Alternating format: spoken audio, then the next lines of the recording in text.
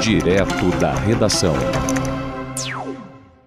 A justiça mantém a prisão preventiva do acusado de torturar uma criança. É um boxeador. Esse vídeo ele viralizou pelo Brasil. Esse homem ele estava com um enteado, então as cenas mostram ele no elevador com a criança e depois, no outro momento, também numa recepção de um prédio em Niterói. E aparece ele sufocando a criança, ele torturando, ele espancando a criança.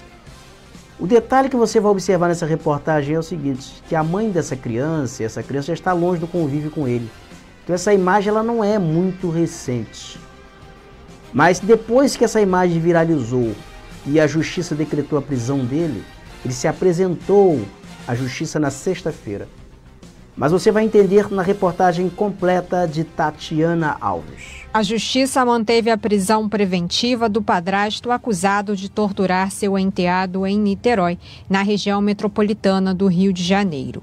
A decisão foi do juiz Antônio Luquezzi, que manteve a prisão preventiva de Vitor Arthur Possobon pelo crime de tortura cometido contra o enteado de apenas quatro anos. A audiência foi realizada neste domingo na Central de Custódia de Benfica, na zona norte da capital. Vitor Possobon está preso desde sexta-feira. As agressões contra o enteado foram flagradas por câmeras de segurança de um condomínio da cidade.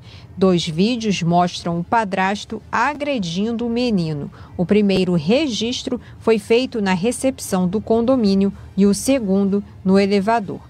As imagens seriam de fevereiro deste ano. O processo tramita em segredo de justiça. Segundo a denúncia do Ministério Público do Rio de Janeiro, em fevereiro, Possobon submeteu o enteado a sofrimento físico e mental, com socos e sessões de sufocamento, inclusive prensando a cabeça do menor contra a parede do elevador.